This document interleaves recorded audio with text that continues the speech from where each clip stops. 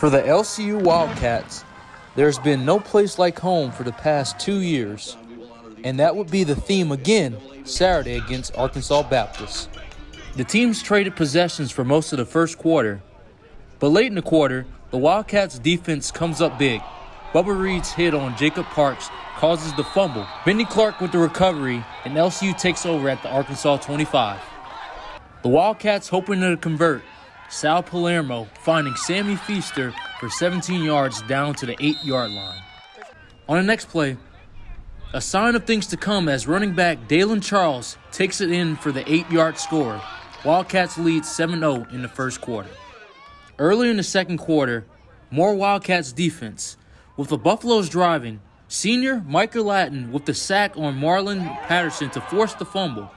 Wildcats Tyrus Ellis recovers at their own 25. For Latin, his seventh sack of the season, he needs one more sack to set a new single season team record. The Wildcats will go on another scoring drive using mostly the ground game.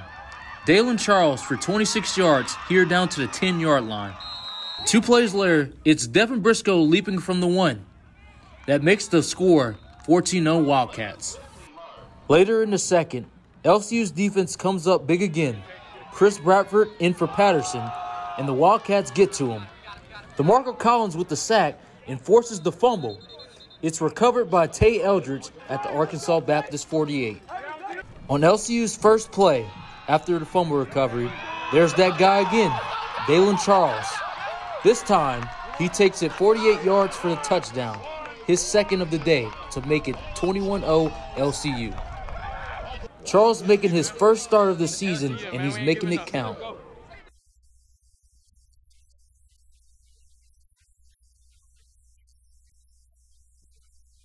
Just when the Wildcats were riding high, the Buffalo answers back on special teams. Atavian Ray takes the kickoff at the 8 and returns it 92 yards for the score. They would make a two point conversion as well to cut the score 28 to 8. But on the Wildcats' next drive, a couple of big penalties, including a personal foul and roughing the kicker on a missed field goal attempt, puts the Wildcats at the Arkansas Baptist 7. That's when Charles gets his third touchdown of the day to make it 28 8. He would finish the game with 165 yards and three touchdowns, something he says he couldn't have done without his linemen up front.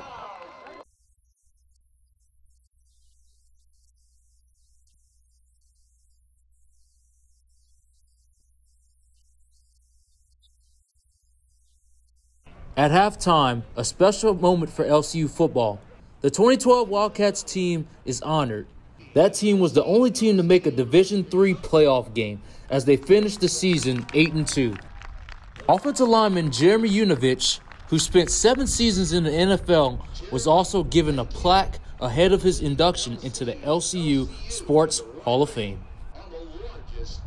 To the second half, and early in the third quarter, the Buffaloes looking to punt, but a bad snap results in the Wildcats recovering at the Arkansas Baptist 32.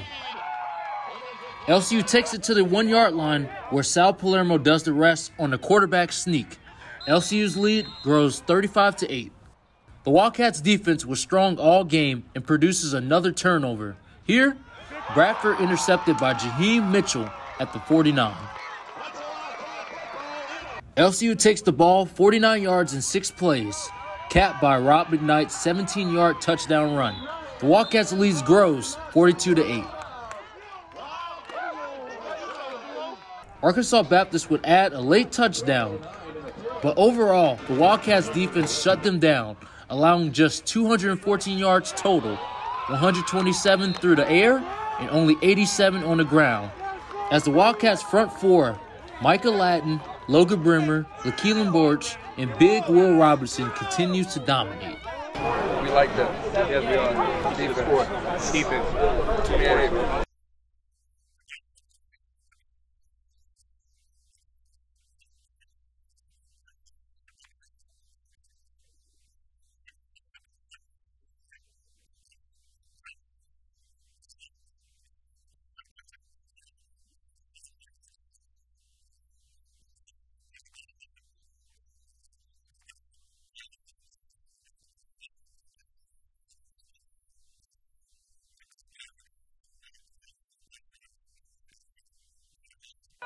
The Wildcats win the game 42 to 14 to prove 2 and 4 in the season and 2 and 3 in the Sooner Athletic Conference.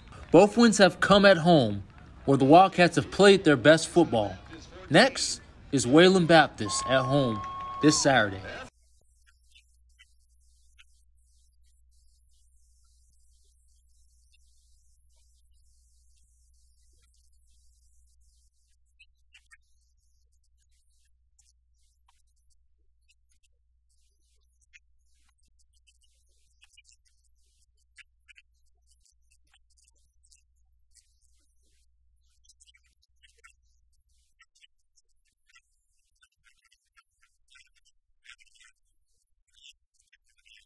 Saturday's game will start at 2 p.m.